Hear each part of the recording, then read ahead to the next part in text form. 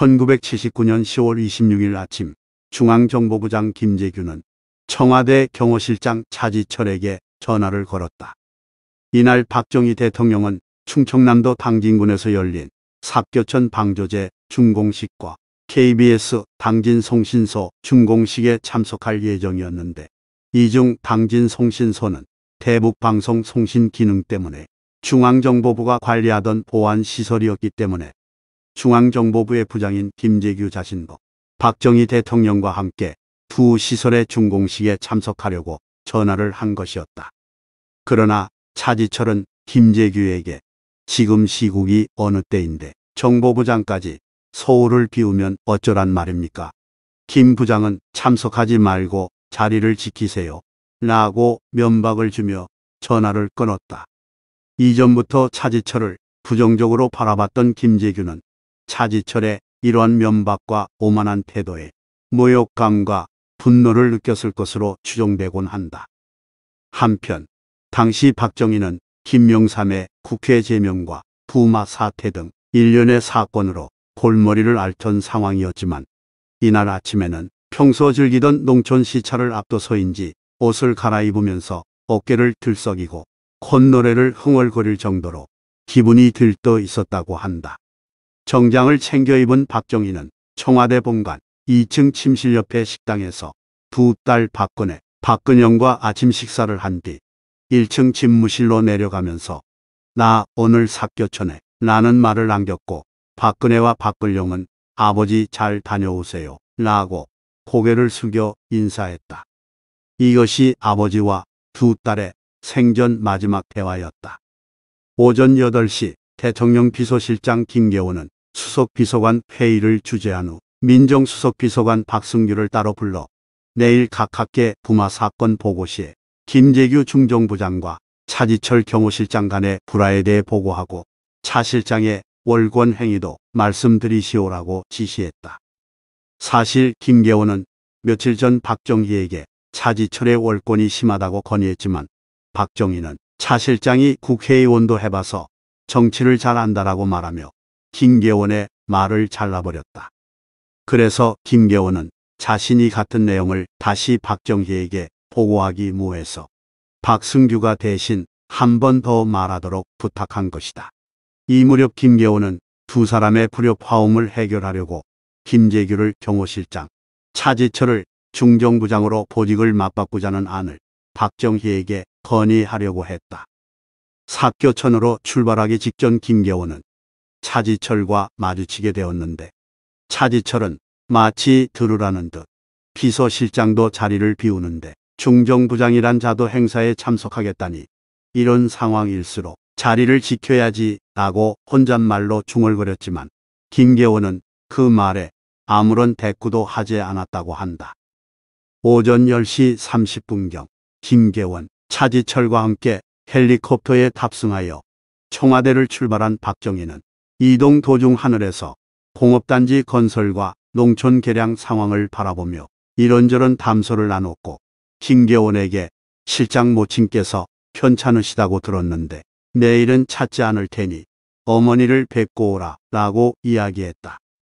이후 오전 11시경 박정희는 삽교천 행사에 도착하여 약 8분 분량의 방조제 왕궁에 대한 경축사를 낭독했는데 이때 주변에 있던 일부 장관과 경호원들은 오늘따라 각하 목소리에 힘이 없다라며 이상하게 생각했다고 한다.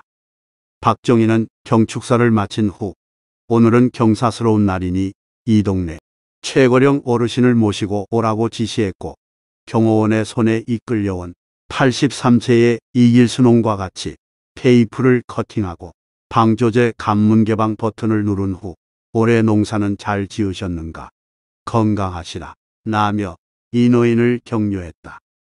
그 다음 KBS 당진 송신소로 이동하여 완공식 치사를 한 박정희는 송신소 응접실 의자에 털썩 앉더니 김성진 문화공보부 장관에게 물을 달라고 하여 김성진이 가져온 물컵을 단숨에 들이킨 후 축 늘어졌다.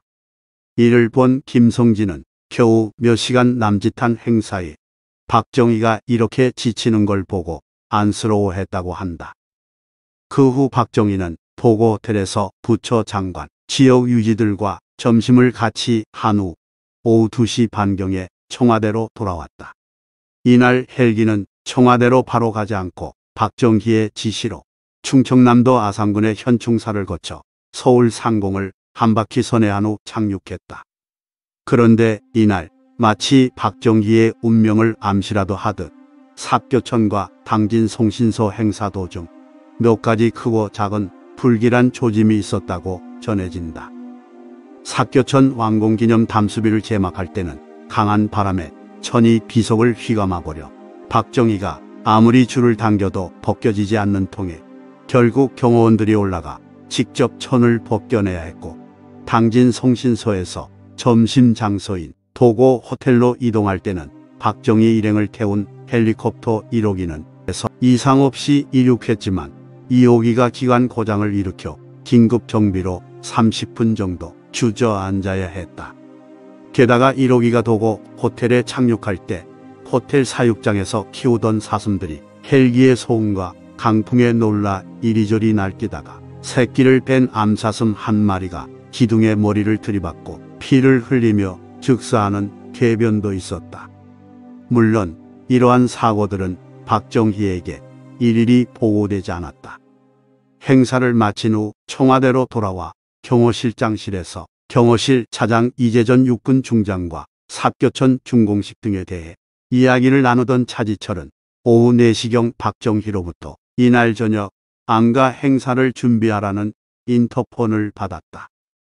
무슨 일이냐는 이재전의 말에 차지철은 별일 아닙니다.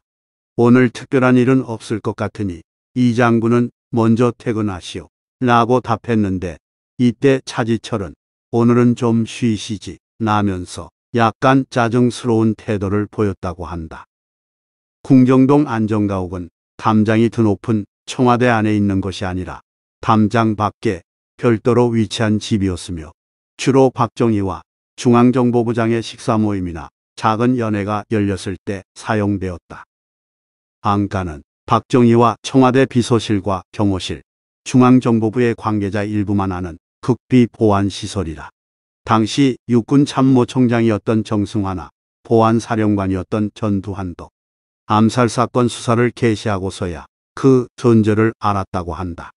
특히 전두환은 12.6 사건이 일어나기 3년 전인 1976년에 청와대 경호실 작전차장보로 근무한 적이 있었는데도 안정가옥의 존재를 몰랐다니 보안이 얼마나 철저했는지를 알 수 있는 대목이다.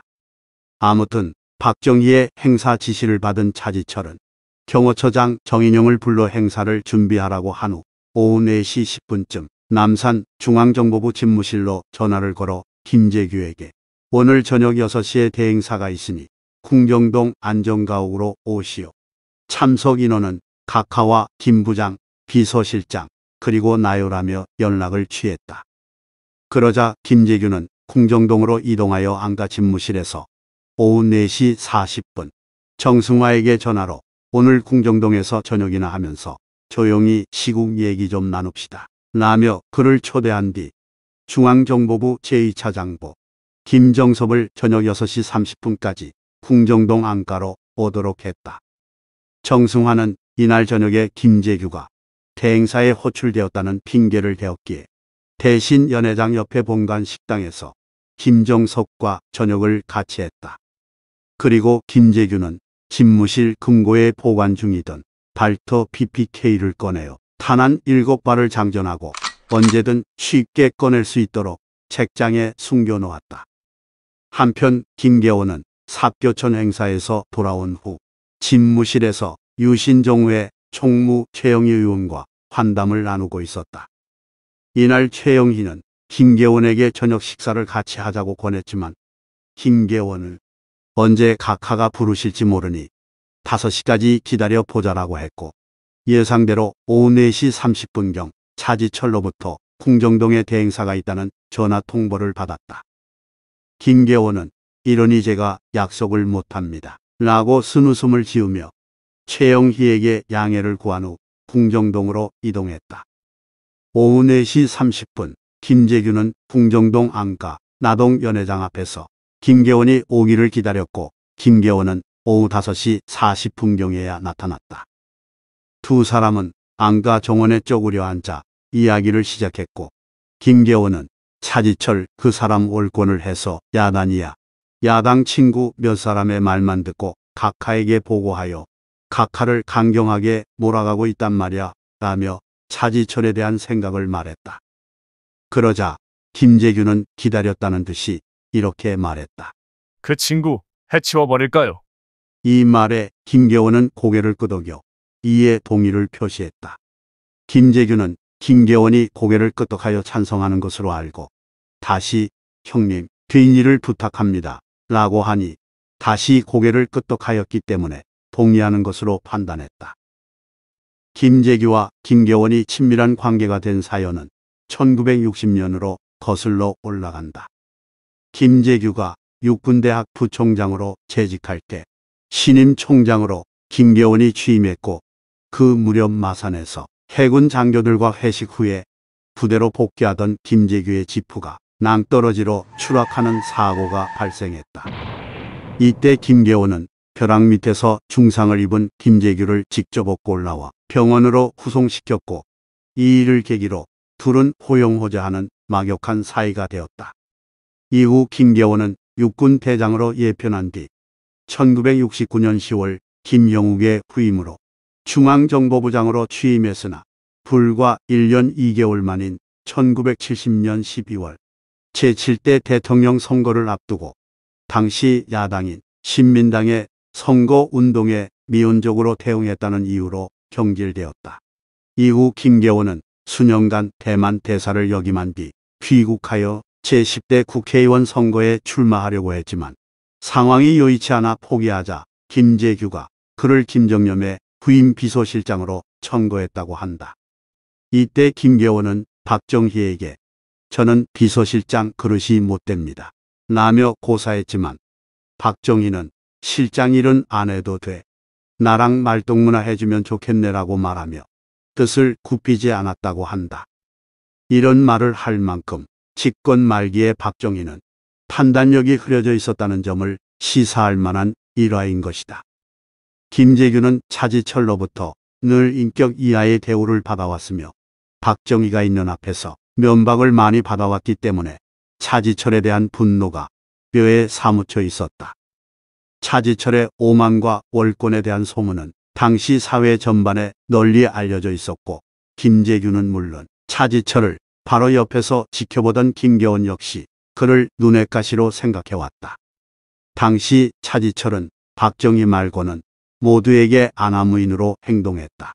김계원이 김재규에게 먼저 꺼낸 말은 그렇지 않아도 김재규의 가슴 속에 불타고 있는 차지철에 대한 증오심에 기름을 끼얹은 것인지도 모른다. 비슷한 시각 중정비서실 의전과장 박선호는 서울 중구 태평로 플라자 호텔에서 당시 22세의 광고 모델이었던 신재순을 종로구 내자동 내자호텔에서 당시 24세였던 가수 심수봉을 태우고 궁정동 안가에 도착했고 평소 무좀으로 고생하던 중앙정보부 부장 수행비서 박흥주 육군 포병 대령은 잠시 시간을 내서 광화문 에스콰이아 지점에서 새 구두를 샀다고 전해진다. 이 구두는 그날 밤 박정희와 차지철을 쏜 후 자기 구두도 팽개친 채 양말만 신고 차에 오른 김재규가 빌려 신게 된다. 저녁 6시경 박정희와 차지철 일행이 궁정동 안정가옥에 도착했고 대기 중이던 김계온과 김재규가 그들을 맞이하여 안가의 나동 연회장으로 안내하면서 연회가 시작되었다. 당시 안가 요리사였던 이종호는 이날 식사로 비빔밥, 떡만둣국, 칼국수를 술안주로 잡곡무침, 전복무침, 송이버섯구이, 장어구이, 불갈비를 준비했다. 그 밖에도 꿀에 재운 인삼과 도라지나물, 전, 생채, 편육 등으로 한 상에 서른 접시 정도가 놓인 호화상이 차려졌다고 한다. 요리 재료는 당일 오후 5시경 중정의전과장 차량 운전사 유성옥과 안가 경비원, 방석상, 이광철이 동대문시장 등을 돌며 약 6만 원어치를 샀다고 한다. 술은 막걸리와 위스키 등을 준비했는데 연회장에는 위스키만 들어갔고 평소 박정희가 즐겨 마시던 능곡 소재 양조장에서 공수해온 막걸리는 안가 식당차 운전수인 김용남과 청와대 경호관 김용섭이 나눠 마셨다. 이때 유명해진 위스키로 당시 박정희가 마셨다던 시바스 이갈이 있는데 그 유명한 현장 검증 사진에도 이 술이 재현된 상위에 올려진 모습을 볼 수 있다. 한편으로 당시 현장을 검증했던 장경삼 당시 검찰관은 박정희는 국산 양주를 주전자에 담아 마셨는데 사건 현장에 가까이 접근할 수 없었던 기자들이 병 모양의 모습만 보고 지레 짐작으로 시바스 이갈로 착각해 그대로 보도해 잘못된 사실로 굳어졌다고 주장했다. 그러나 김계원이 재판 중 시바스 리갈을 마셨다고 진술했었던 데다가 사진 자료로도 시바스 리갈 이미 확인되기 때문에 장경삼의 주장은 거짓이다. 또 다른 안가 요리사였던 김일선은 박정희는 콩나물밥을 좋아했고 참기름으로 볶은 대가리를 뗀 멸치를 술안주로 즐겨 먹었다라고 회상하였다.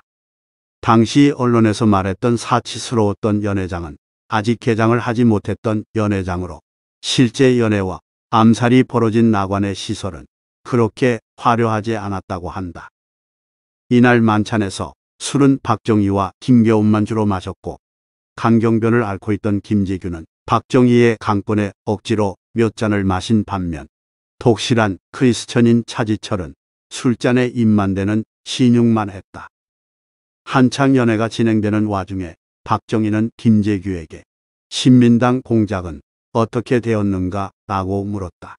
그러자 김재규는 공화당에서 신민당 의원들이 제출한 사표를 일괄 반려하겠다고 발표하는 바람에 당직에서 사표를 내겠다던 의원들이 전부 강경하게 돌아서면서 다 틀렸습니다. 아무래도 신민당 주류들이 강하게 나와서 당분간 시끄러울 것 같습니다. 라고 답했다. 그러자 옆에서 차지철은 신민당 놈들 중에 국회의원 하기 싫은 놈 하나도 없어요. 가불면 학생이고 신민당이고 그까지 놈들 전부 땡크로 싹 깔아뭉개야 합니다. 라는 살벌한 말을 뱉었고 박정희는 오늘 사교처는 공해도 없고 공기도 깨끗하던데 신민당은 왜 그 모양인가라며 혀를 찼다. 이어서 김재규는 신민당은 주류 중심으로 강경하게 전환되었고 정운갑은 비주류가 밀고 있는데 국민들이 신민당 비주류를 사쿠라로 보고 있어서 힘이 없습니다. 주류의 협조 없이는 정운갑 대행체제 출범은 불가능합니다. 라고 설명했지만 차지철은 또 다시 그깟 새끼를 싹 밀어버리겠다라며 과격한 소리만 되풀이했다. 거기에 한술 더 떠서 혼잣말로 요새 정보부는 부마 사태 처리도 그렇고 도대체 뭘 하는지 모르겠다라고 비아냥거리면서 김재규의 화를 계속 돋웠다. 김계호는 이런 살벌한 상황을 풀어보려고 평소 칵테일을 좀 할 줄 아는 김재규에게 위스키로 칵테일 만드는 방법을 묻기도 하고 오늘 삽교촌 분위기가 너무 좋았다는 등의 말을 하며 화제를 전환하려 했지만 차지철이 수시로 김재규에게 시비를 걸어대는 바람에 상황을 전환시키기에는 소용이 없었다. 저녁 6시 30분쯤 차지철은 깔아 뭉개버리겠다라는 말을 던져놓고 옆 대기실로 가서 기다리고 있던 신재승과 심수봉을 데리고 들어왔다. 박정희 오른쪽에는 신재순이, 왼쪽에는 심수봉이 앉았고 심수봉은 그녀의 기타를 옆 문갑에 기대어 세워놓았다. 그렇게 술잔이 돌고 잡담이 오가는 등 술자리 분위기는 이고 가고 만찬을 시작한 지한 시간이 지났을 때였다. 7시 뉴스가 시작되기 바로 직전 김재규는 정승화가 와 있는지를 확인하기 위해 만찬장을 빠져나와 작은 정원을 사이에 두고 50m가량 떨어진 본관 1층 식당 문을 열었다. 정승화는 오후 6시 35분에 안가 별채에 도착하여 김정석과 함께 식사를 하고 있었다. 취기가 오른 박정희는 김계원을 도승지, 김재규를 포도대장이라 부르면서 술을 따라주었고 신재승과 심수봉에게 김 부장은 술이 아주 세니까 많이 권해주게라며 농담을 던지는 등 기분이 좋아 보였다. 그러나 김재규는 차지철 때문에 이미 인내심이 한계에 다다른 상태였다. 김재규는 연회장을 나와 김정석과 저녁 식사 중이던 정승화에게 갔어. 갑자기 각하의 부름을 받고 연회에 참석 중이요. 김 차장이 국내 정치에 대해 잘 알고 있으니 이 친구와 시국 얘기 좀 나누고 계세요. 끝나는 대로 거보겠습니다. 라고 해명을 한 후 집무실 책장에 숨겨놓은 자신의 발터 PPK를 바지 호주머니에 숨겨 나왔다. 그리고 김재규 자신과 인연이 오래된 신복들인 수행비서 박흥주 대령과 박선호를 궁정동 안정가옥 마당으로 불러내어 아래와 같이 명령을 내렸다. 김재규 호주머니에 권총을 보이며 자네들은 어떻게 생각하나? 일이 잘못되면 자네들이나 나나 죽은 목숨이다. 오늘 저녁 내가 차지철을 해치우겠다. 방에서 총소리가 나면 너희들은 경호원들을 처치해라. 지금 본관에 육군 참모총장과 김정섭 2차장 보도 와 있다. 각오는 되어 있지. 부장님, 각하도 포함됩니까? 그래. 오늘은 경호원이 7명이나 와 있고 날이 좋지 않습니다. 다른 날을 고르시죠. 안 돼. 오늘 해치우지 않으면 보안이 누설된다. 똑똑한 녀석 세 놈만 골라. 나를 지원해라. 다 해치워버려. 믿을 만한 놈 세 놈 있겠지? 예, 있습니다. 그렇다면 부장님, 30분만 여유를 주십시오. 30분은 너무 길다. 30분이 필요합니다. 30분 전에는 절대 행동하시면 안 됩니다. 알았다. 그리고 김재규는 자유민주주의를 위하여 라고 중얼거리고는 권총이 든 호주머니를 탁 치면서 연회장으로 돌아갔다. 김재규의 일방적인 명령에 박선호와 박흥주는 처음에는 크게 놀랐지만 마음을 다스리고 김재규의 명령에 성실히 따랐다.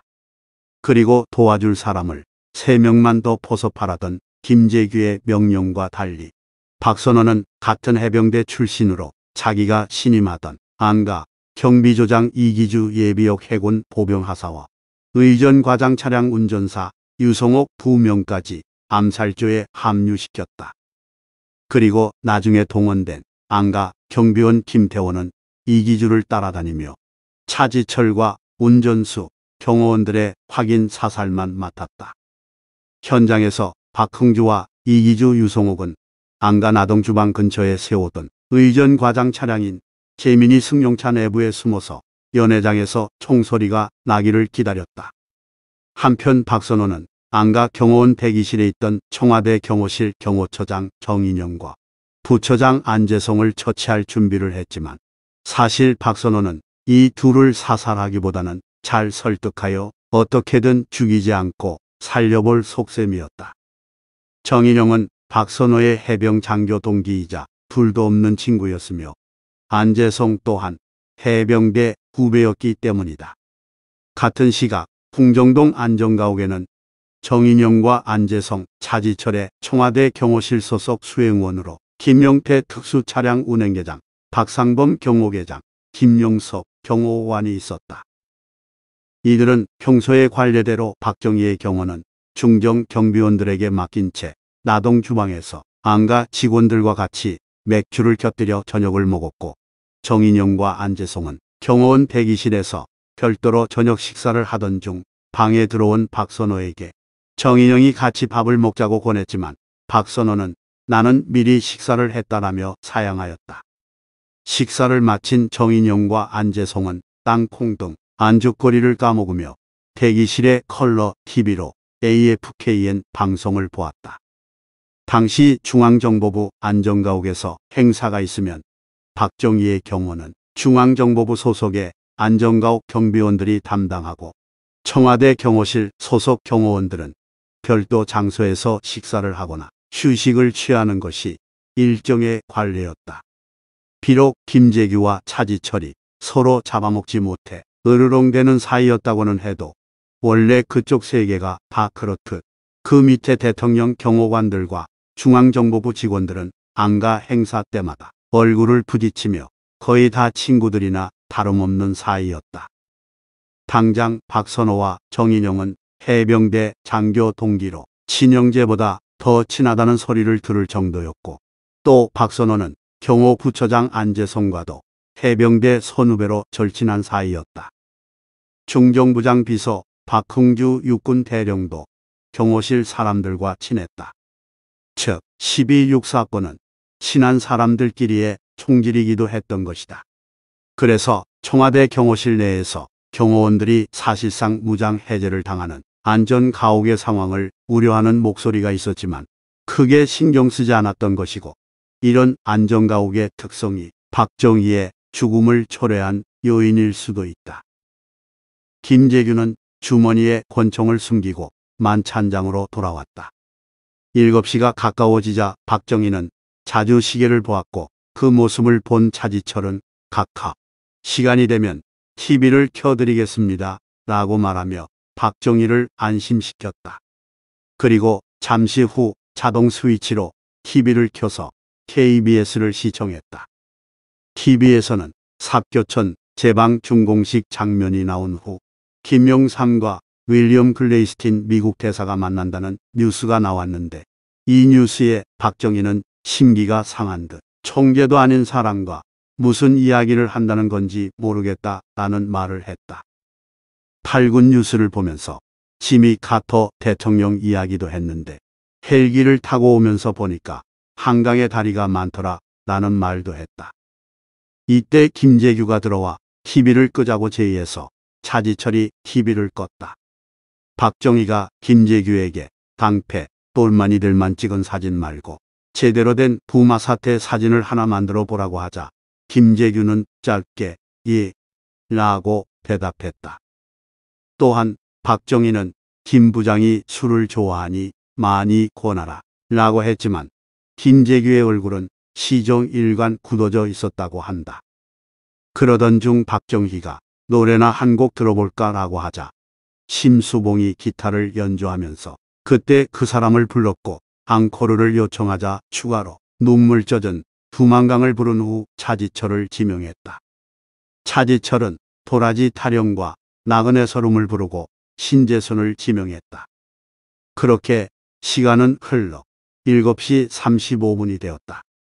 박선원은 안가 지배인 남여주에게 부장님께 부속실로 전화가 왔다고 전해달라 라는 지시를 내렸고 남효주는 연회장에 들어가 김재규에게 그대로 귀띔을 했다.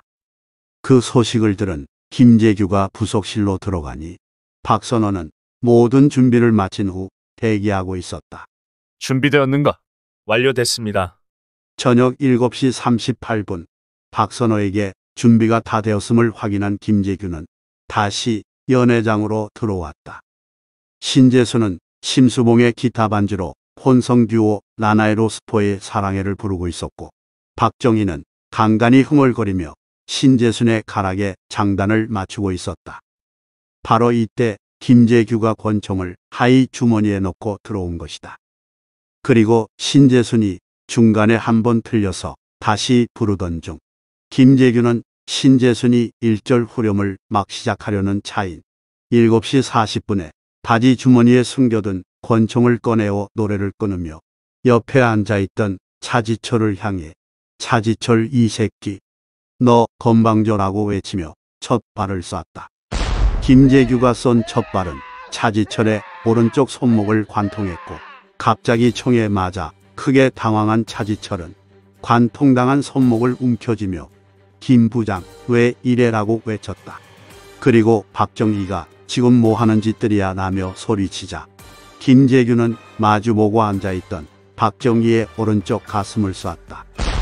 이 총격으로 박정희는 오른쪽 배에 관통상을 입었고 곧바로 쓰러져 얼굴을 식탁에 묻었다.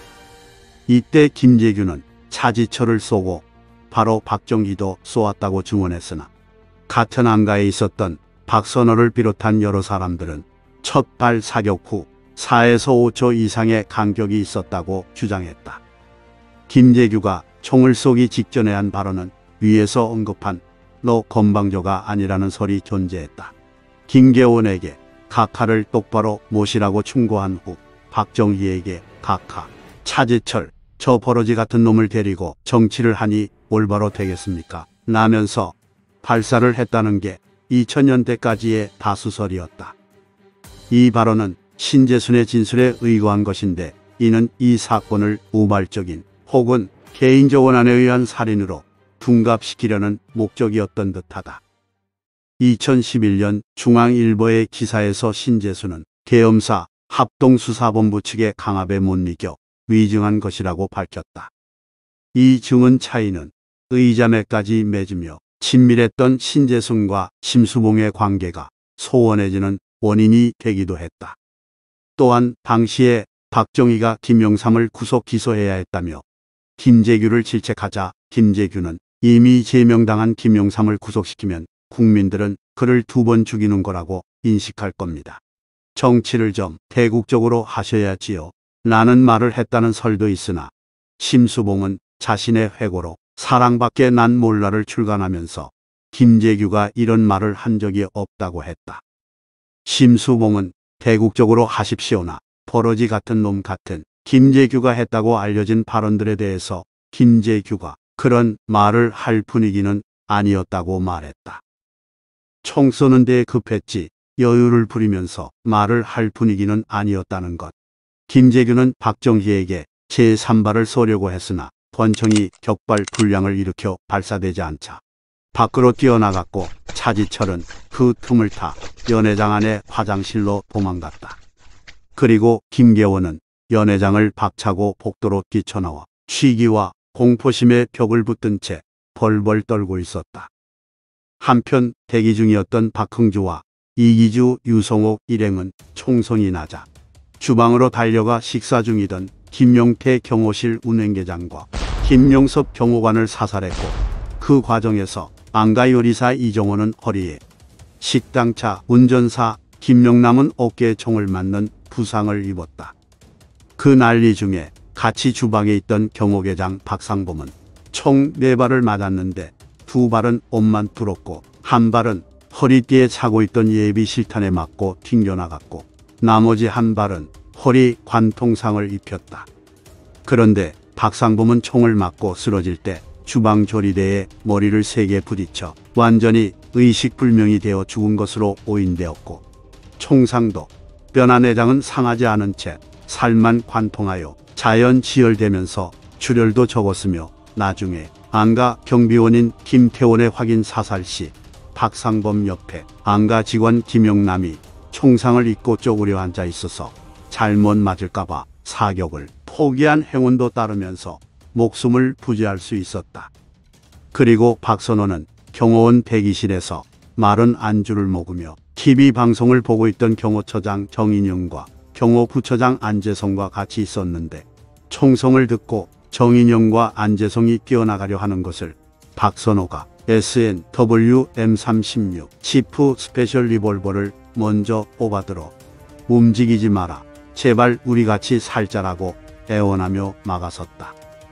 그러나 안재성이 총을 뽑으려 하자 어쩔 수 없이 박선호는 안재성을 쐈고 이어서 친구인 정인영도 쏘고 말았다. 그런데 박선호가 안재성, 정인영을 사살하던 시점에서 느닷없이 안정가옥 나동 전체의 조명이 나갔는데 이는 지하 보일러실에서 신문을 읽고 있던 안가 영선 담당 강무홍이 총성을 전기 합선으로 착각하고 차단기를 내렸기 때문이었다. 그러나 밖에서 계속 이어지는 총소리와 고함 소리에 합선이 아니라는 사실을 안 강무홍은 다시 차단기를 올린 후 보일러실 문을 잠근 채 몸을 숨겼다고 한다. 만약 불이 조금 일찍 꺼졌더라면 박선호는 오히려 정인영과 안재성에게 역습을 당할 수도 있었다. 한편 김재규는 총상을 입은 차지철과 박정희를 확인 사살하려고 했지만 권총이 기능 고장으로 인하여 끝내 발포가 되지 않자 다른 총으로 일을 끝내려고 연회장 바깥으로 뛰쳐나왔다. 그리고 정인영과 안재성을 처치하고 나온 박선호로부터 S&W M36 Chief Special 리볼버를 넘겨받아 연회장으로 돌아왔다. 그때 화장실에서 나와 경호원을 찾던 차지철은 김재규와 맞닥뜨렸고 차지철은 문 옆에 문갑을 치켜들고 거세게 저항했지만 김재규는 차지철의 복부에 총을 발사하여 치명상을 입혔다. 차지철을 완전히 거꾸러뜨린 후 김재규는 여성의 무릎에 머리를 대고 있던 박정희에게 다가가 우측 관자놀이를 향하여 마지막 탄환을 발사했다. 당시 심수봉과 신재수는 쓰러진 박정희를 부축했고 김재규가 박정희에게 마지막 탄을 발사하러 들어오는 순간 박정희 등 뒤에서 나오는 피를 막고 있었다고 진술했다. 김재규가 들어오자 신재수는 화장실로 심수봉은 부속실로 피했다. 이 마지막 탄은 박정희의 오른쪽 귀 바로 윗부분을 뚫고 들어가 지주막을 뚫고 뇌를 관통한 뒤 왼쪽 광대뼈에서 멈췄다.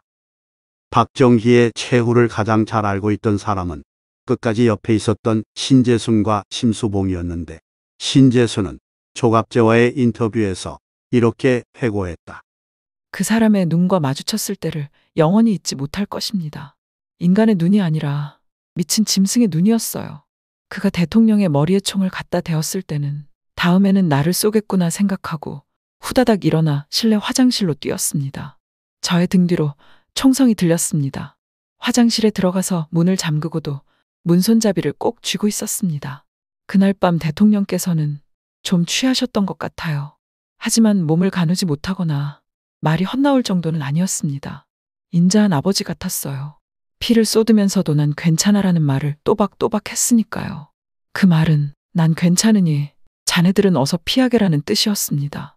대통령이시니까 역시 절박한 순간에도 우리를 더 생각해 주시는구나 라고 생각했었죠. 그분의 마지막은 체념한 모습이었는데 허무적이라기보다는 해탈한 모습 같았다고 할까요? 총을 맞기 전에는 못들 하는 거야 하고 화를 내셨지만 총을 맞고서는 그 현실을 받아들이겠다는 자세였어요. 어차피 일은 벌어졌으니까요. 그리고 심수봉은 그 순간을 이렇게 진술했다. 가슴에 총을 맞은 각하를 보니 호흡이 이상하여 각하 괜찮으십니까 하고 묻자 음 괜찮아 하셨지만 등에서는 피가 많이 흐르고 있었습니다. 나는 상체를 부축하고 있었고 신재순 양은 손으로 피를 막고 있었죠. 내가 무릎 가까이 각하를 부축하고 있을 때 김재규 부장이 각하 뒤로 와서 총을 더 쏘고 나갔습니다. 공포에 질린 두 사람은 무서워서 마루로 나와 관리인 사무실로 들어가 숨어 있었다. 그동안 밖에서는 총소리가 다섯 여섯 발 정도 더 났다. 만찬장 밖으로 나온 김재규는 마루에 서 있는 김계원과 아주 짤막한 대화를 나눴다. 나는 한다면 합니다. 이젠 다 끝났습니다. 보안을 유지하십시오. 뭐라고 하지? 각하께서 과로로 졸도했다고 하든지 적당히 하십시오. 하여튼 알았소. 김계원으로부터 협조하겠다는 의지를 확인한 김재규는 현장 수습을 김계원에 맡기고 맨발로 정승화에게 달려갔다. 그의 와이셔츠 자락은 밖으로 나와 있었고 와이셔츠의 허리와 목 부분 여기저기에는 피가 묻어 있었다. 김재규는 본관 1층의 식당으로 뛰어들자마자 비서에게 물, 물을 외쳤고 비서가 컵과 물주전자를 가져오자 주전자채로 물을 벌컥벌컥 들이키고는 차량, 차량, 손님 나오라고 해 이렇게 외쳤다. 이 순간을 정승화는 1979년 12월 15일에 이렇게 묘사했다. 19시 45분경 김정석과 본인은 총소리를 듣고 커피를 마시고 있는데 밖에서 떠드는 소리가 나더니 김재규의 비서가 급히 식당 안으로 들어와 그 옆에 있는 주방에서 물을 가지고 나가서 김정섭도 따라 나가므로 본인도 궁금하여 따라 나가니 식당 문 앞에 있는 복도에 김재규가 숨을 헐떡이며 물을 마시고 당황한 표정으로 본인을 보고 본인의 팔을 붙들고 총장 큰일 났습니다 라고 3회가량 되풀이하므로 본인은 무슨 일입니까? 라고 물었으나 김재규는 거기에는 답변치 않고 빨리 차에 타고 차 안에서 이야기합시다라고 하여 본인은 만찬의 장소에서 무슨 긴박한 사태가 발생되었다고 생각하고 우선 김재규가 하자는 대로 따르기로 하고 19시 50분경 현관 앞에 대기한 김재규 차에 타자 우측에 있는 김정섭에게 김재규가 차에 타라고 하여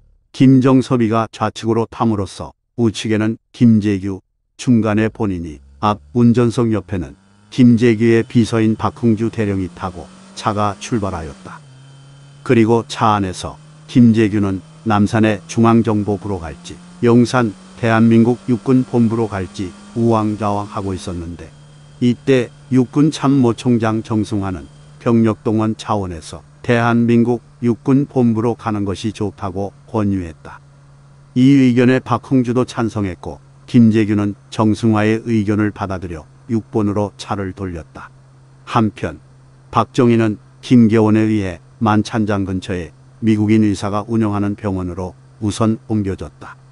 비서실장은 심폐소생술을 실시하였으나 박정희는 소생하지 않았고 병원 도착 5분 전에 사망한 것으로 추정된다. 이런 사실은 비밀 해제된 미국 자료에 의해 밝혀졌다. 후에 박정희의 시신은 국군 서울지구병원에 옮겨졌다.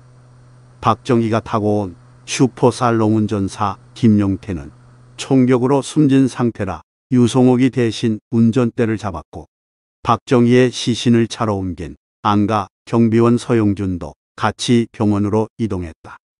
김재규가 궁정동을 떠난 후 대통령 비서실장 김계호는 김재규가 시킨 대로 뒤처리를 했다. 7시 55분 김계호는 차에서 내려 박정희를 등에 업고 보안사 영내에 있는 국군 서울 지구병원에 옮겼다. 비서실장이 얼굴이 비범벅인 누군가를 업고 오더니 얼른 살려내라고 윽박 지르는 통에 처음에 당직군의관은 환자가 누구인 줄 몰랐다가 이후에 대통령인 것을 깨달았다. 이윽고 박정희에 대한 사망 선고가 내려졌고 이후 시신은 중정 요원들이 공포 분위기를 조성하고 보안을 강조하면서 철통같이 지킨다. 한편 이날 김재규의 판단은 대한민국 역사상 최악의 실책이었다고 아직도 세간의 입방아에 오르내리고 있다. 김재규 입장에서는 자신의 거점인 중앙정보부로 가서 사건 수습과 뒷공작을 하는 것이 최선책이었다. 박정희와 차지철이 죽고 없는 시점에서 제3의 실권자인 중앙정보부장 김재규에게 대놓고 반대할 사람도 없고 박정희 암살 사건에 간첩이 개입되었을 가능성이 높다는 명분을 내세워서 대공 업무를 담당하는 중앙정보부가 조사를 전담하는 것이 마땅하다며 우길 수도 있는 상황이었다. 여차하면 차지철이 박정희를 쐈기 때문에 내가 차지철을 사살했다고 둘러대는 것도 가능했다. 사건을 목격한 생존자라고 해봐야 김재규 자신과 암살 공범인 정보부 요원들을 제외하면 연회장의 김겨운과 신재순, 심수봉 그리고 안정가옥에 있던 일부 청와대 경호원과 안정가옥 직원들이 고작이었다. 김겨운은 김재규에게 한참 밀린 데다 차지철에 대한 반감은 김재규와 마찬가지였으며 신재순과 심수봉은 일개 대학생과 가수였고 나머지 직원과 경호원들도 이미 부상을 입거나 제압당한 상황에서 김재규와 중앙정보부가 이들을 입막음하는 것 정도야 손바닥 뒤집기보다 쉬운 일이었다. 더군다나 당시 차지철은 평소 행적 때문에 박정희 암살 혐의를 뒤집어 씌우더라도 의심할 사람은 아무도 없을 상황이었다. 차지철은 월권 행위에 박정희를 제외한 고위층, 심지어 김계원이나 김재규를 비롯한 장성 출신들에 대해 오만불선한 태도를 일삼았고 권력 문제에도 마구 개입하며 김재규뿐 아니라 차지철에게 반감을 가진 사람이 적지 않았다.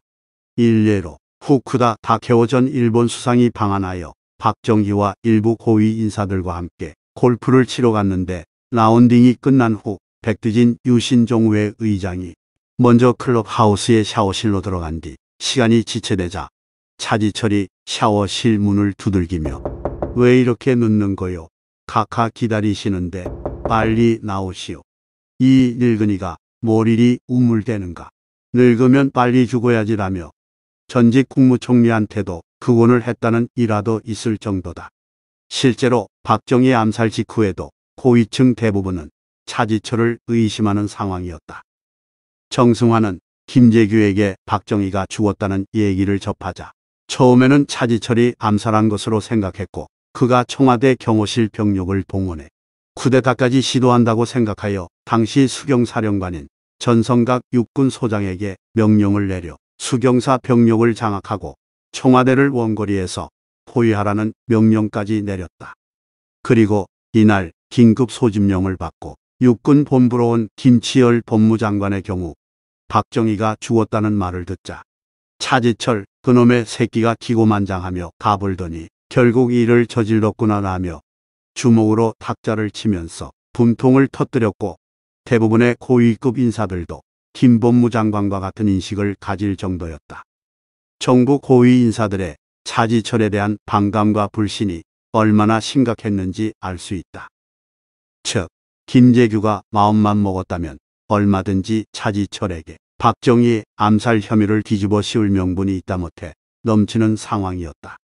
이처럼 김재규는 사건을 조작할 만한 능력도 명분도 충분히 있었음에도 불구하고 무슨 생각에서인지 자신의 본거지인 중앙정보부도 간첩 사건 등으로 인맥이 있었을 법한 대한민국 검찰청 또는 치안본부도 아닌 자신과 그다지 연관성이 없는 육군본부로 향했다.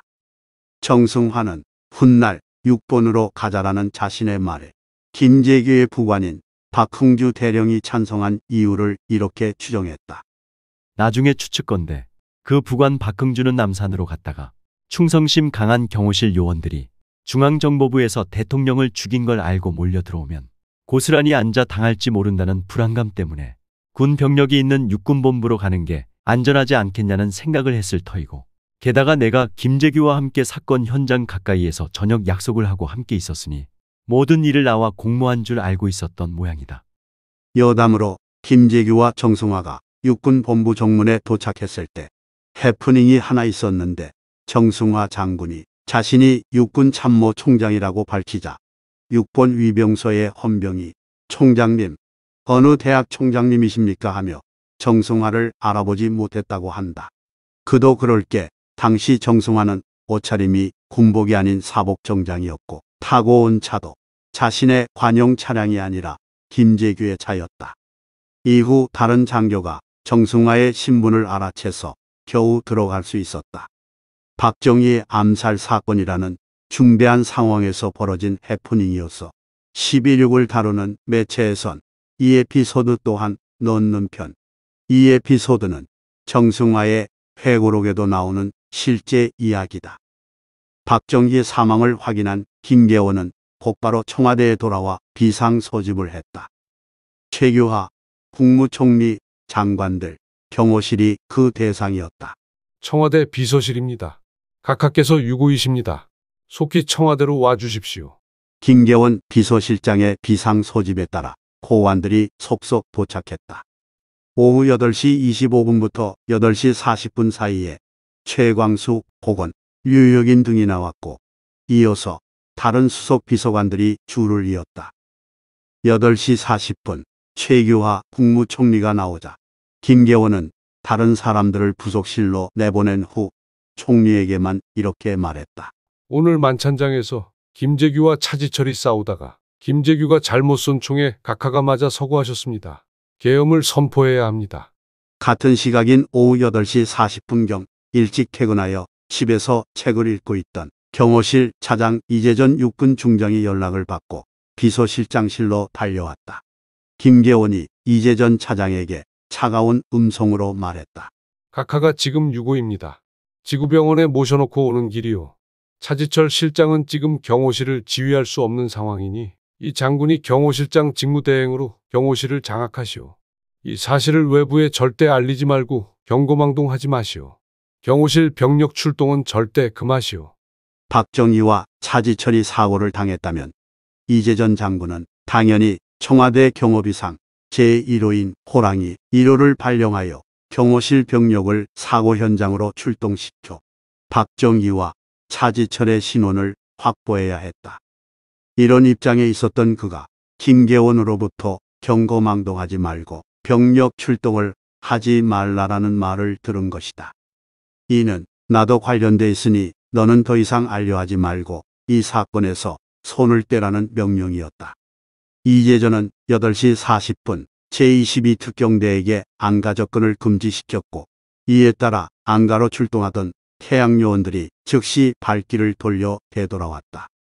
여기까지의 행위로 인해 김계원은 10월 29일 구속됐고 12월 20일 계엄보통 군법회의에서 김재규 등과 함께 사형 선고를 받았다. 이날 재판장은 사형 선고를 7번이나 내렸다. 죄명은 내란 목적 살인 및 내란 중요임무 종사 미수죄였다. 그러나 며칠 뒤 김계원의 사형은 무기징역으로 감형됐고 1982년 5월 형집 행정지로 풀려났다. 경호실 병력의 출동을 금지한다는 것은 무슨 뜻인가? 경호실 병력이 사건 현장으로 출동하여 진실을 밝혀내는 것을 방해하고 범인을 체포하지 못하도록 방해하기 위한 조치인 것이다. 또한 계엄을 선포한다는 것은 쿠데타 또는 혁명에서나 생각할 수 있는 초비상 조치였다. 한편 이재전 경호실 차장에게 경호실 병력 출동 금지를 지시한 것은 김계엄만 취한 조치가 아니었다. 8시 5분경에 육군 B-2 벙커에 도착한 정승화 역시 거의 같은 시각에 이재전에게 전화를 걸어 경호병력 출동을 금지시킨 것이다. 이때 정승화는 김재규가 박정희와 차지철을 제거한 줄은 모르고 오히려 차지철이 사고를 일으켰다는 쪽에 무게를 두었다. 따라서 경호실 병력이 차지철에 의해 동원되지 않도록 장악을 지시한 것이다. 이재전 경호실 차장은 경호실 직제에서는 차지철의 아랫사람이었지만 민간인이 아닌 현역 육군 장군 신분이었으며 6.25 전쟁에도 참전한 차지철의 까마득한 군 선배이다.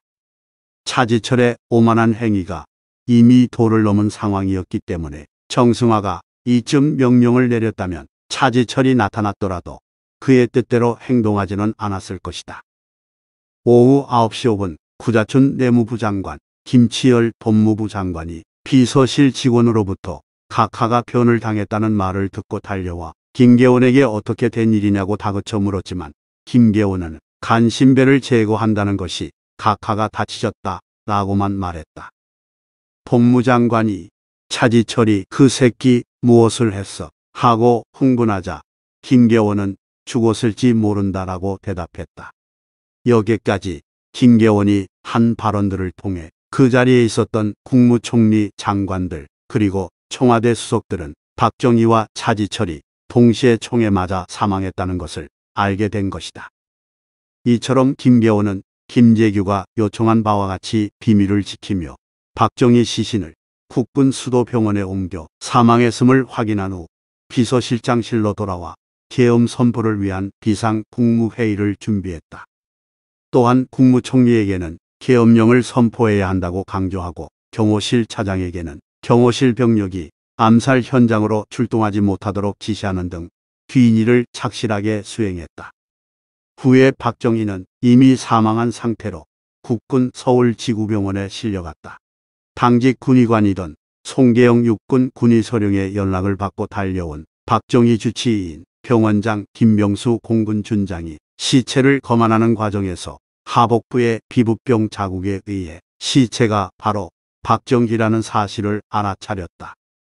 그리고 운전사 유성옥과 안가 경비원 서영준이 총으로 위협하는 와중에 보안사 참모장 우국일 육군 준장의 전화를 받은 김병수 장군은 아래와 같이 박정희가 죽었다는 메시지를 전했다. 이에 병원장입니다. 보안사 참모장입니다. 지금 그쪽 상황이 많이 곤란하지요. 대략 어떤 상황인지 알 것 같으니 제 질문에 예, 아니오로만 답하시오. 예, 죽었습니까? 예, 경호실장입니까? 아니, 그런 거 없습니다. Code One입니까? 예, 알겠소. 다시 연락하겠습니다. 오후 8시께 육본 벙커에 도착한 김재규는 청와대에 있던 김계원에게 전화를 걸어 최규하 총리를 데리고 오라고 요청했다. 최규하 총리와 김계원을 필두로 신현학 부총리 겸 경제기획원 장관, 구자춘 내무부 장관, 김치열 법무부 장관, 유혁인 정무 일수석 비서관 등이 속속 벙커에 도착했다. 노재현 국방부 장관과 각군 참모총장들까지 모이면서 장소가 비좁아지자 이들은 밤 11시께 국방부 회의실로 자리를 옮겼다. 최 총리는 노 장관에게서 대통령 서고 사실을 보고받은 뒤 김재규에게 자처지종을 물었으나 그는 대통령 유고다. 보안을 유지하고 강의를 열어 계엄을 선포해야 한다는 말만 되풀이했다.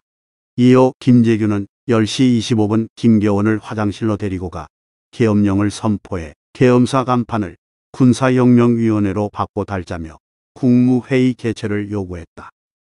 이에 김계원은 최 총리에게 계엄령 선포를 위한 비상 국무회의 소집을 건의했고 최청미가 수락했다. 다음은 당시 김재규와 김계원이 최규화와 나눈 대화 내용이다. 비상계엄을 선포하려면 국무회의를 열어야 하지 않겠습니까? 물론이지요.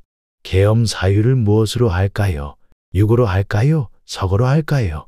대통령 각하 유구로 인하여 27일 00시 00분부로 계엄을 선포한다고 하면 되지 않겠습니까? 요거만 가지고 납득하겠습니까? 무언가 납득할 만한 이유를 말해야 하지 않겠습니까? 국무위원들도 내용을 알아야 의견을 교환할 수 있지요. 유고는 안 됩니다. 국내 치안이 좋지 않아서 계엄령을 선포하는 것으로 해야 합니다. 국내에 데모가 난 것도 아니고 계엄이 선포돼 있는 부산도 조용한데 그건 이유가 안 됩니다. 대통령 유고를 어떻게 국민에 안 알리겠습니까? 계속 보안을 유지하는 것도 어려운 일이며 우선은 국무위원들도 납득하지 못할 것입니다. 왜 안 됩니까? 소련은 일주일 이상이나 브레즈네프의 행적을 발표하지 않고 있었는데 2, 3일 동안 왜 보안 유지가 안 됩니까? 그러면 김 부장이 국무회의에서 사유를 설명해 줄 수 있습니까? 예, 하지요. 비상계엄과 국장 문제 등을 검토해야 합니다. 지금 보안을 지켜야지 국장 문제를 앞세울 수는 없습니다. 비상계엄의 사유를 명백히 해야 합니다. 소련의 브레즈네프는 일주일간이나 그 행적을 보안 유지했는데 우리는 왜 며칠간 보안 유지를 못합니까? 국가에 비상사태가 발생하여 계엄 선포한다 하면 되지 사유를 자세히 할 필요는 없지 않습니까? 이후 국방장관실에는 사건 관련자인 김재규, 김계원, 정승화 이외에도 최규하, 신현아, 노재현, 구자춘, 박동진, 김치열, 김성진, 김종환, 서정철, 유혁인 등이 있었다. 6번 대회의실에서 열린 긴급 국무회의에서 김재규는 박정희가 죽었다는 사실은 숨기고 각하가 지금 유고 상태이다. 이 사실을 최소 48시간 동안 보안에 붙이고 빨리 계엄령을 선포해야 한다. 김일성이 알면 큰일 난다라고 길길이 뛰었다. 그러나 김재규의 예상과 달리 이 자리에서 신현학 부총리를 포함한 국무위원들이 반발을 했다. 법무장관 김치열이 이런 중대한 사태를 이유 없이 48시간이나 보안으로 숨길 수 없다. 미국에도 이 사실은 알려야 한다라며 반박했고 뒤늦게 6번에 도착한 부총리 신현학이 김재규에게 밑도 끝도 없이 계엄령이 말이 되느냐 어떻게 된 일인지 전말을 밝히라며 반발했다. 신현학이 6번에 도착하기 전 다른 장관들은 김재규의 기세에 밀려 전전긍긍하고 있던 상태였지만 국무위원들이 거세게 반발하자 대통령 시의 사실을 숨긴 채 비상계엄을 선포하려던 김재규의 의도가 좌절됐다. 급기야 김성진 문공부 장관 등이 반발하며 정회를 요구했고 국무회의는 중단됐다. 전두환 회고록은 이 시점을 김재규에게 치명적인 순간으로 묘사했다. 김재규와 김계원은 계엄령 선포 의결을 앞둔 시점에서 상황이 그렇게 반전되리라고는 예상치 못했을 터였다. 김계원 실장이 김재규가 박 대통령을 시해한 범인이라는 사실을 털어놓기로 마음을 정한 것은 이때였다. 비상국무회의가 좌초되자 김재규의 쿠데타 기도가 성공할 수 없다고 판단한 것이다. 한편 김계원은 국무위원들이 반발하는 것을 보면서 김재규 배후에 아무것도 없고 예비해둔 특별한 계획도 없다는 것을 누구보다도 먼저 간파한 후 진실을 털어놓기로 결정했다. 11시 40분 김계원은 회의가 중단되자 슬며시 회의실을 빠져나갔다. 옆방으로 가 국방부 장관 보좌관에게 노재현 장관과 정승화 총장을 급히 불러오라고 요청했고 김계원은 김재규에게 동조 세력이 없다는 것을 간파한 후 노재현과 정승화가 있는 자리에서 김재규가 범행에 사용했던 권총을 내놓으면서 김재규가 범인이라는 사실을 밝혔고 그에게 권총이 있으니 조심하라는 말도 덧붙였다. 이에 노재현 국방장관은 정승화에게 김재규를 체포하라 명했다. 노재현은 정승화와 체포 계획을 논의했고 수사는 보안사가 해야 된다고 결정했다. 정승화는 육군본부 헌병감 김진기를 벙커로 불러 상당히 구체적으로 김재규 체포를 지시했지만 보안사령관 전두환에게는 김재규를 안가에 정중히 모시라고 했다. 이에 전두환은 육군본부 보안대장 오일랑 중령에게 연락을 취했다. 자네 김재규 얼굴 아나? 압니다. 김재규는 자네 얼굴 아나? 모를 겁니다. 지금 헌병복으로 갈아입고 병력 데리고 국방부로 와서 김재규를 체포하게. 이처럼 자정무렵 정 총장에게서 신병 확보 지시를 받은 전두환 보안사령관은 보안사 군사정보과장 오일랑 중령에게 6번 헌병대장 복장을 하도록 했다.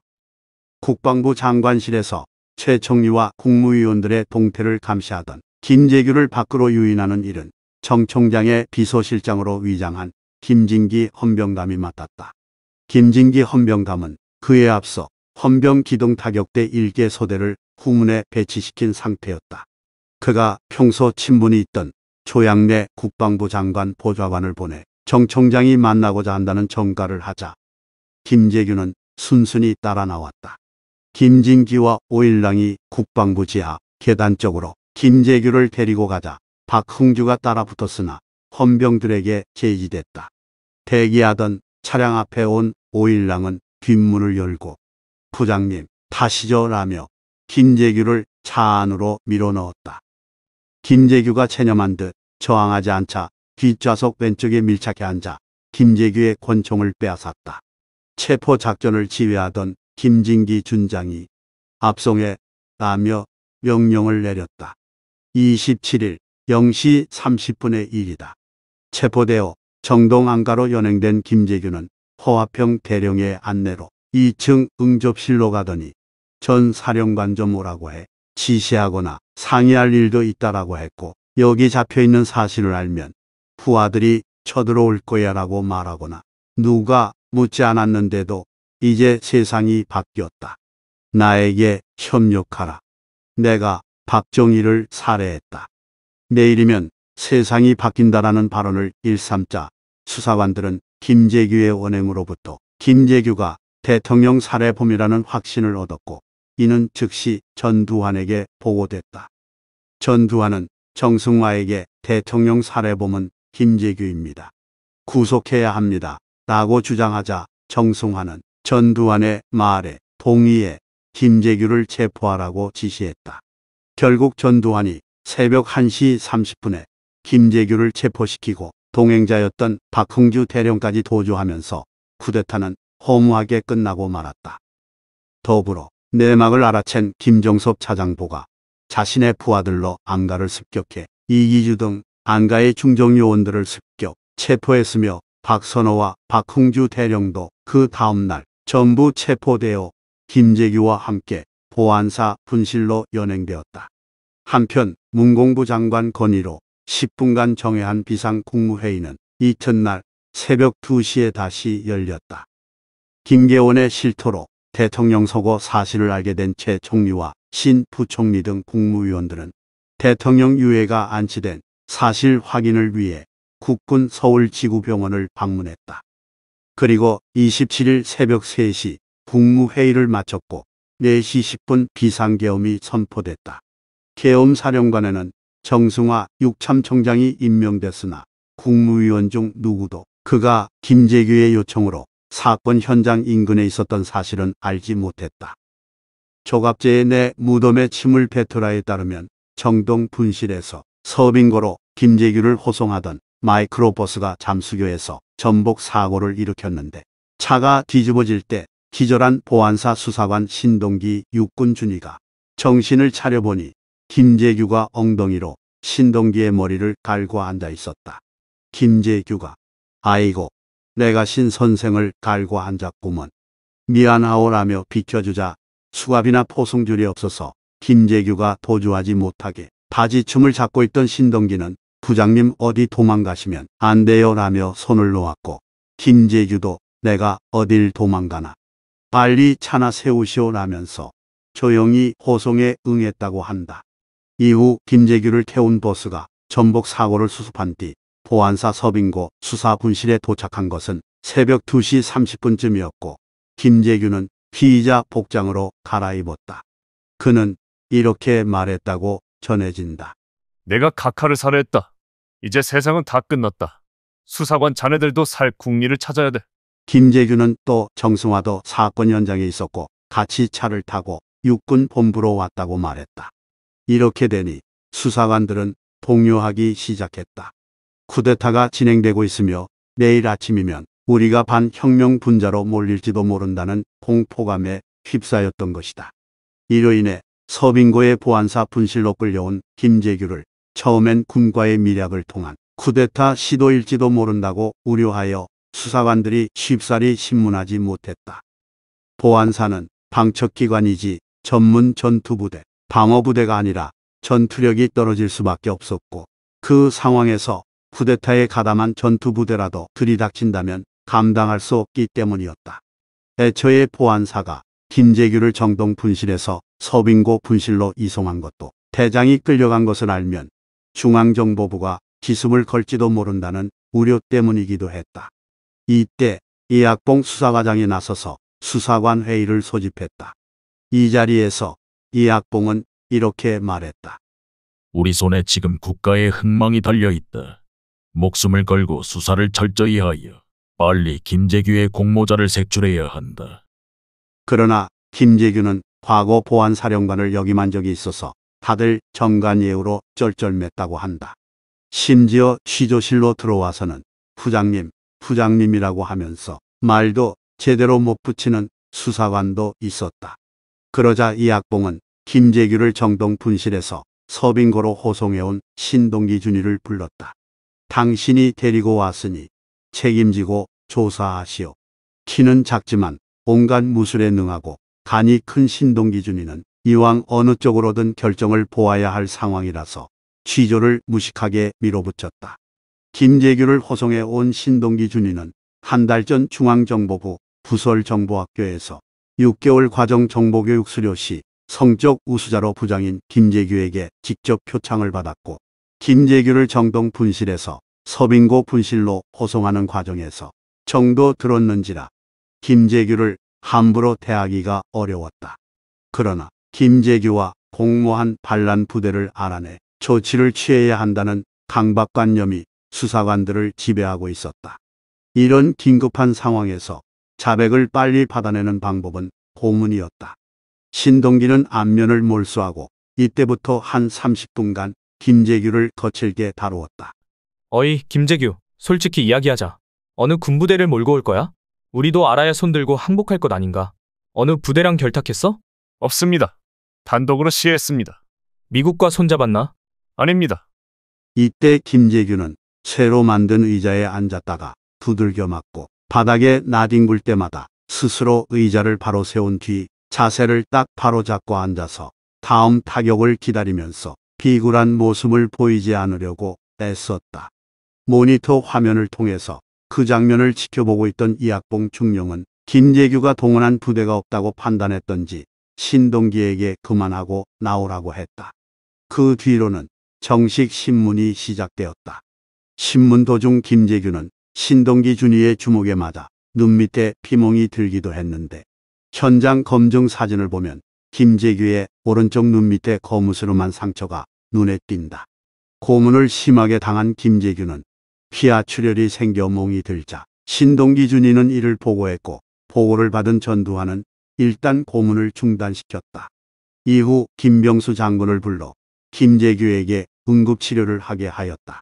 김병수 장군이 서빙고의 신문실에 들어가니 김재규는 반가워했으며 진찰해 보니 위험한 정도는 아니었고 간이 나쁜 사람들이 보이는 증상이었다고 한다. 27일 새벽 1시 직전에 육군 본부 벙커에 육군 헌병감 김진기 장군이 총장실로 오더니 김재규 체포 완료 보고를 했다. 정승환은 국방부 장관실에 있는 김겨원 실장에게 이 사실을 알려주었다. 정승환은 한참 있다가 국무회의 상황을 알아보려고 국방부로 가던 중 복도에서 전두환 보안사령관을 만났다. 전두환은 쪽지에 쓴 메모를 보여주면서 김재규가 압송차 안에서 횡설수설한 걸로 보아서 범인이 틀림이 없습니다. 라고 말하는 것이었다. 전두환은 세상에 중정부장이 각하를 시해했다니 라고 말하면서 어이없어 했다. 정승환은 전두환으로부터 수사 계획을 보고받은 뒤 노재현 국방장관에게 갔다. 김계원 실장이 각하 시해 장서에 김재규와 같이 있었다고 하니 아무래도 연행을 해서 조사를 해야겠습니다라고 하니 장관도 동의했다. 정승화는 전두환에게 연행 지시를 했다. 그 직후에 김계원 실장이 장관실로 들어왔다. 그러나 정승화는 그의 모습을 보니 도망칠 사람은 아니라는 생각이 들었다. 그래서 다시 전두환에게 연행하지 말라고 지시했다는 것이다. 정승화 총장의 1979년 11월 1일자 참고인 진술서에 따르면 김계원은 이틀 뒤인 29일에 연행되어 구속된다. 이학봉은 27일 날 아침 김재규에 대한 1차 신문 결과를 수사관들로부터 보고받았다. 수사관들은 시해 현장에는 김계원 실장뿐 아니라 정승화 총장도 있었다고 보고하면서 두 사람을 연행해 조사해야 한다는 의견을 내놓았다. 이날 오전 11시 이학봉 수사과장은 오희명 과장과 함께 합동수사본부장이 된 전두환에게 수사 보고를 했다. 이학봉 중령은 김계원, 정승화 두 사람을 구속하여 수사해야겠다고 건의했다. 처음엔 전두환 사령관이 그렇게 하라고 해서 막 문 쪽으로 걸어가는데 다시 부르더니 김계원 실장은 구속 수사하라. 그러나 정승환은 어제 계엄 사령관이 됐으니 함부로 할 수 없다. 지금부터 극비리에 내사를 더해봐라는 취지로 지시했지요. 이학봉 중령이 전두환 소장에게 정승화 총장에 대한 수사 필요성의 이유로 적시한 내용은 이러했다. 육군 총장이 대통령이 돌아가셨다는데 아무런 조치를 하지 않았다. 대통령의 시신 수습과 범인 색출을 한 흔적이 없다. 청와대를 포위시켰는데 그 이유를 알 수가 없다. 이 보고를 받은 전두환은 이렇게 생각했다. 중앙정보부장, 대통령 비서실장, 육군 참모총장이 공모한 조직적인 내란이다. 완전한 혁명이 아닌가 생각했습니다. 이런 상태에서 정 총장을 구속하면 배후 세력에 의해서 또 다른 내란 행위가 일어날 가능성이 있다고 판단하였습니다. 이때 전두환은 정승화 총장이 시해 사건 현장 부근에 김재규의 초대로 와 있었다는 이야기를 처음 들었다. 김재규가 단독범인지 여부가 불투명한 시점에서 전두환 소장과 합수부 수사관들은 일단 정승화를 공범 용의자로 의심하고 있었다. 정승화 총장이 계엄사령관으로 임명된 지 불과 7시간이 흐른 시점에서 전두환과 합동수사본부에 이런 의심을 받고 있었다는 것은 중대한 의미를 지닌다. 전두환이 정권 탈취에 대한 야심을 가졌다고 보기 힘든 시점에서 그가 박정희 대통령 서거 직후 권력자로 등장한 계엄사령관을 구속해야 할 조사 대상자로 보고 있었다는 점에서 12.12 사태로 가는 길은 이미 열리고 있었다. 이 사건의 전말은 합동수사본부 본부장으로 임명된 보안사령관 전두환의 수사 보고에 의해 10월 28일 세간에 알려졌다. 그 후 재판을 통해 주모자인 김재규 그리고 암살에 참여한 박선호, 이기주, 유송호, 김태홍까지 5명은 1980년 5월 24일 서대문형 무소에서 교수형으로 생을 마감하였다. 박흥규의 경우는 이보다 전인 1980년 3월 6일 총사령이 집행되었고 김계원은 무기징역으로 감형되었다. 국내외에서 김재규의 구명운동이 전개되기도 했으나 영향을 끼치지는 못했다. 또한 당시 대통령 경호실 차장이었던 이재전 중장은 직접적인 책임은 없었으나 직무유기 혐의로 조사를 받다가 정승화 참모 총장의 만류로 풀려나서 예편했다. 김재규의 말대로 야수의 심정으로 유신의 심장을 쏜 총탄은 철옹성 같던 유신 체제를 무너뜨리는 데 성공했다. 그러나 박정희의 죽음으로 생긴 권력의 공백기를 잽싸게 파고든 이가 바로 하나회라는 군부 사조직을 등에 업은 전두환이었다. 그는 계엄사령관 정승화 대한민국 육군 참모총장을 사건 현장에 있었다는 이유로 내란 음모죄 혐의로 체포하는 12.12 군사 반란을 일으키고 최규하를 김재규가 범인임을 알면서도 육군 본부에 갔다는 사실을 약점으로 잡아 허수아비로 만든 이후 1980년 5월에 5.17 내란과 그 다음 날부터 벌어진 5.18 민주화운동 무력 진압을 거치면서 결국 자신이 대통령 자리에 올라 권력의 꼭지점에 서는데 성공했다. 아이러니하게도 김재규의 이러한 행위는 대한민국 제5공화국이라는 새로운 독재 정권 수립에 일조한 것이다.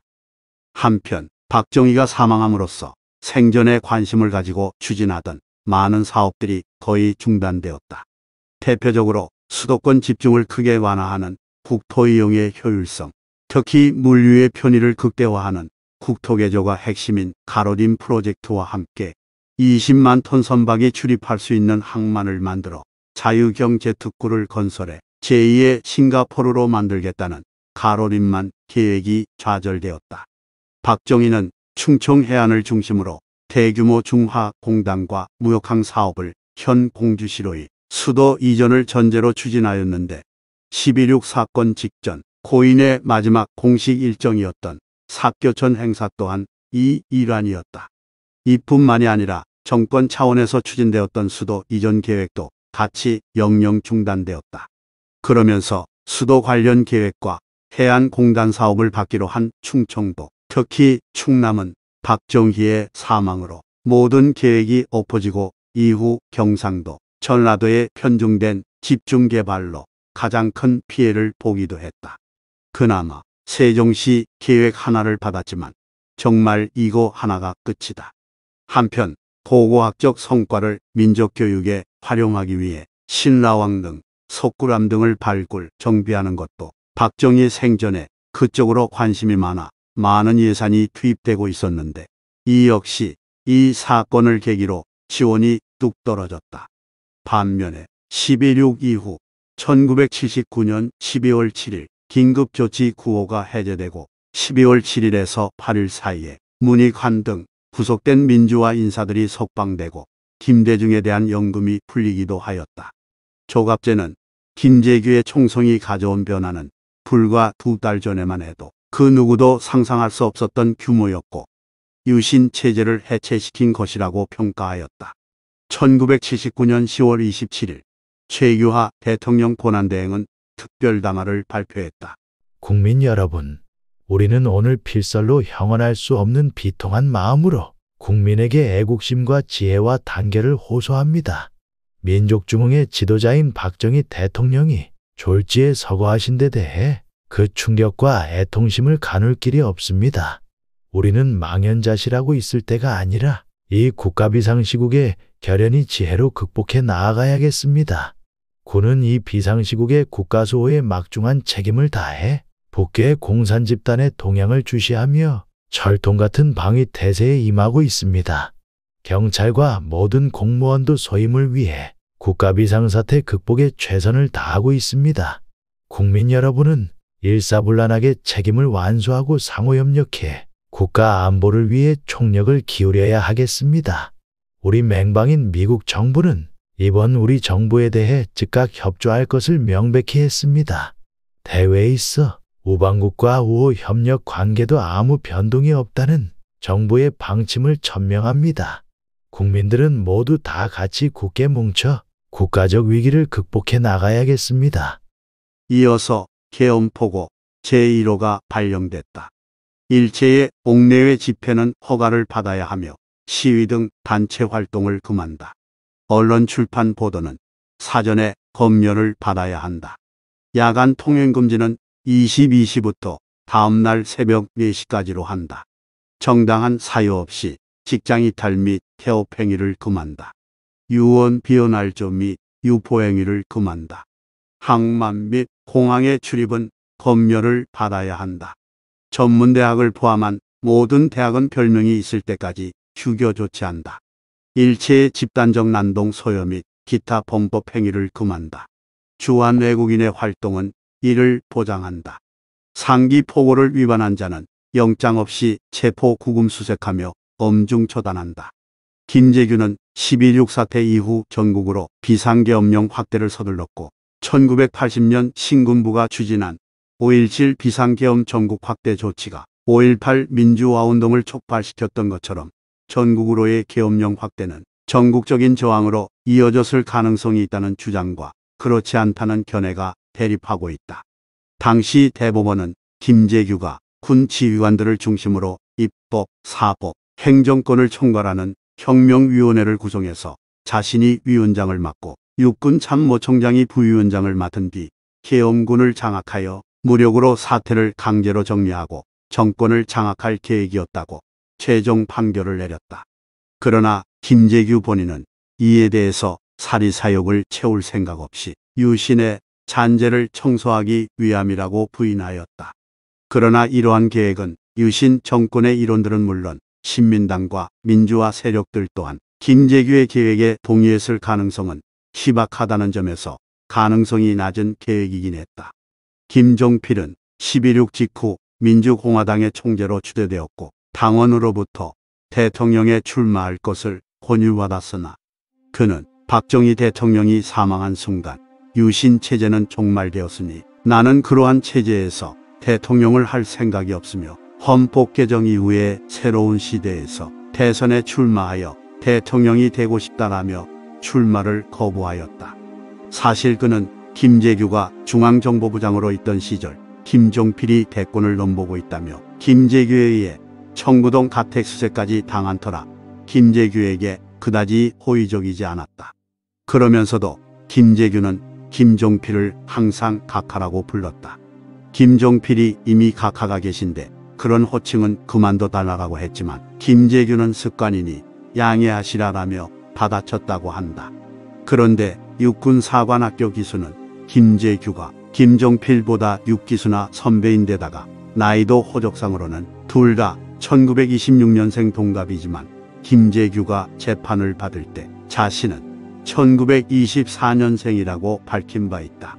거기다 11.6 이후 김종필이 김용삼, 김대중과 함께 개헌과 민주회복 이행에 공감하고 협조해 나갔던 행보로 미루어 보았을 때 김재규의 구상에 따랐을지도 의문이 존재한다. 김재규 개인의 행위로 인해 유신 체제가 붕괴된 것은 당연이며 유신 체제는 이미 내부 권력의 모순과 사회 구조적으로 붕괴의 전조를 보이고 있기 때문에 김재규 한 개인의 행위는 민주화 운동의 큰 흐름과는 관계가 없다는 주장과 이를 부정하는 주장이 대립하기도 한다.